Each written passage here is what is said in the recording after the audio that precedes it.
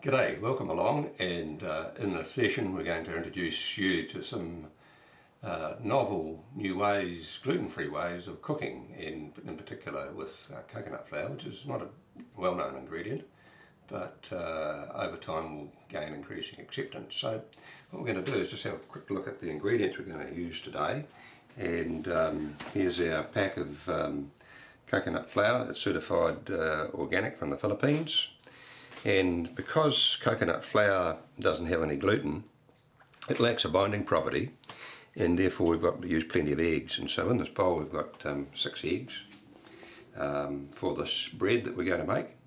We've got two tablespoons of honey and we've got our sifted flour and uh, baking powder and salt in there and we've got half a cup of butter.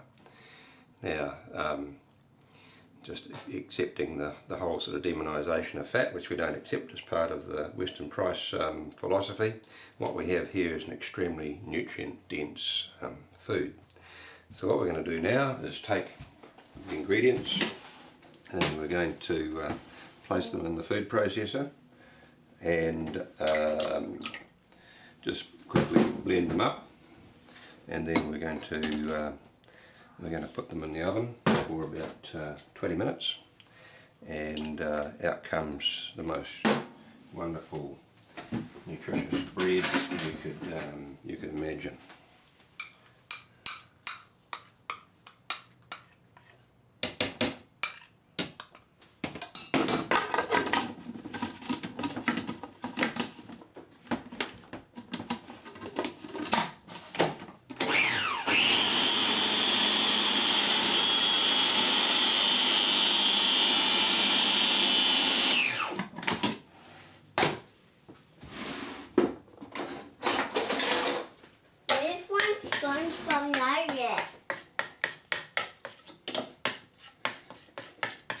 What is it? What?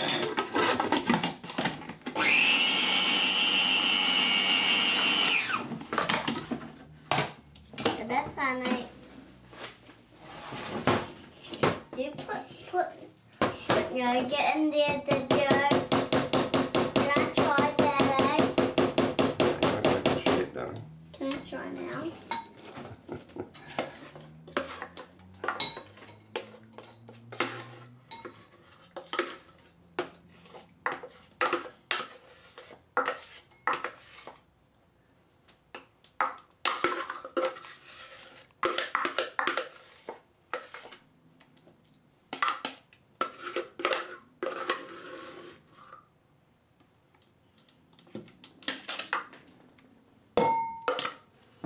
Okay, so that goes into the um, to the oven here for about 20 or 30 minutes. At around about 200 degrees C.